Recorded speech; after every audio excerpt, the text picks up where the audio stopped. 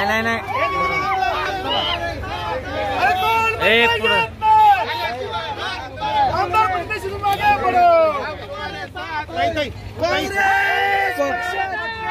महाविकास आघाडीचा सोलापूरकरांचे मनापासून आभार मानते.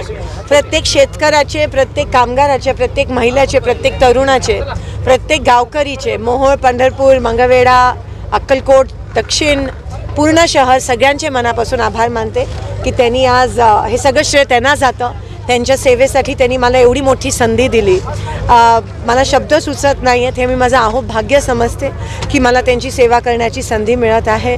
जे मागच्या दहा वर्षाचं रोष होतं भाजपच्या विरोधात मग महागाईच्या विरोधात असेल पाण्या पाणी टंचाईच्या विरोधात असेल एकंदरीत अनेक विषय जे सोला विकासाच्या विरोधातले असेल लोकांनी आज बॅलेटच्या माध्यमातून मतदानाच्या माध्यमातून ते दाखवून दिलं.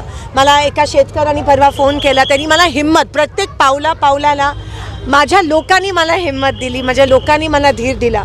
ह्याच्यापेक्षा मी एका समाजसेविकाच्या आयुष्यात मी काय मागू शकते की त्यांनी मला एवढी मोठी संधी दिली? आणि मला कोणीतरी फोन करून सांगितलं की ताई शांततेत क्रांती घडली. आणि ही क्रांती आज आपल्याला देशभरात सोलापुरातच नाही पण देशभरात होताना दिसत आहे. माझ्या वडिलांचं माझ्या पक्षाचं आणि समाजकार्य मी पुढे जाऊन न- पुढे घेऊन नक्कीच जाईन. आणि नक्कीच मी जे पाच वचन दिलेलं त्याच त्याच्यातलं सर्वात महत्त्वाचं की सोलापुरातली जो दुष्काळग्रस्त सोलापूर आहे पाण्याचा जो प्रश्न आहे तो मी पहिले प्रथम पूर्ण करीन.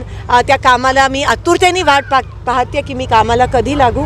आणि परत मी स सोलापूरकरांचे सगळ्यांचेच मनापासून आभार मानते. हा विजय माझाच नाही. हा विजय तुमचा आहे. हा विजय हा श्रेय तुमचा आहे. आणि हा विजय लोकशाहीचा